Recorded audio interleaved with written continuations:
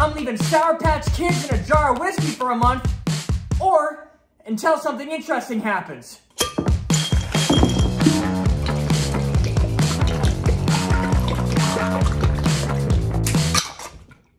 And now, we wait. Well, it's been about two weeks, and this looks like swamp water. Kind of fruity. Oh, how wiggly it is. Bone apple peef. Wow. Whiskey. It's time for a shot. Diboja. Wow. I knew this day was gonna come. I just didn't know it was gonna be today. This is so good. I'm having two. Double Diboja.